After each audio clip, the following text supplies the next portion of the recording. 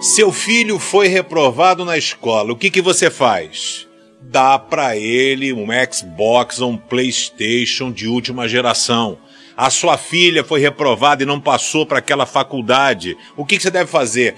Dá um iPhone 6 Plus para ela. Peraí, peraí, peraí. Pastor Pedrão, você tá maluco? Mais ou menos. O que eu tô falando é uma palavra que a gente fala muito, mas vive pouco. É a palavra graça. Graça é favor imerecido. A gente trabalha muito nessa questão meritória. Se tirar nota boa, vai ganhar um presente. Se fizer não sei o que, blá blá blá. A sorte nossa é que Deus não é assim. A graça de Deus é algo maravilhoso, né? A graça de Deus nos alcança e alcança toda pessoa disposta a mudar, a obedecer e andar nos seus caminhos. Às vezes a gente pede as coisas e não consegue alcançar. A gente ora, ora, ora e parece que tem um, um escudo de bronze e a nossa oração não passa do teto. A gente precisa entender que o Senhor tem um controle sobre todas as coisas da nossa vida. E ele te conhece, queridão ou queridona, ele sabe o que ele tem que fazer para mexer com as suas estruturas. E ele conhecia muito bem o apóstolo Paulo. O apóstolo Paulo era fariseu, cara soberbo, que pegava, entrava, tinha autorização para poder pegar cristão, depois ele se converte ao cristianismo.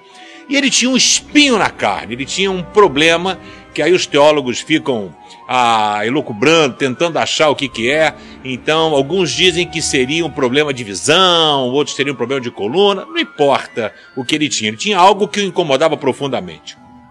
Paulo ressuscitou um garoto que caiu e morreu, ele fez várias curas, milagres, expulsou demônio e orou para o Senhor três vezes, Senhor, cura, tira esse negócio de mim.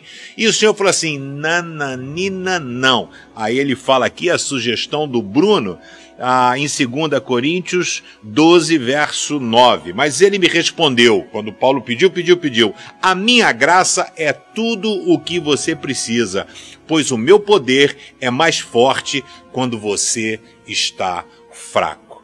O que Paulo está dizendo é que às vezes o Senhor nos conduz ao deserto, nos leva ao sofrimento, nos leva a alguma situação para que a gente aprenda a depender do favor dele, da graça dele. O Senhor conhecia Paulo, né? E sabia que se Paulo de repente se autocurasse, ia dar um rolo danado. Ele diz: Paulo, deixa que eu sei o que eu estou fazendo.